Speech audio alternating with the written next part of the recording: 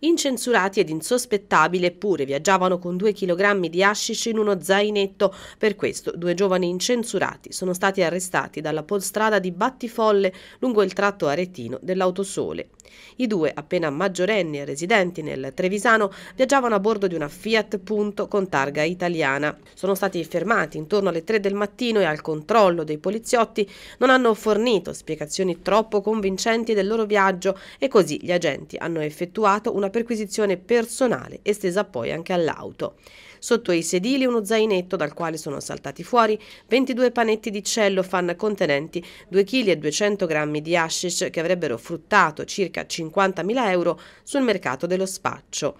I due sono stati arrestati e nel corso della perquisizione è stato sequestrato anche uno smartphone provento di una rapina perpetrata lo scorso 24 febbraio in provincia di Belluno per la quale sono state avviate le indagini per capire se i due arrestati abbiano avuto un ruolo attivo o siano solo entrati in possesso del telefonino e siano quindi responsabili anche del reato di ricettazione.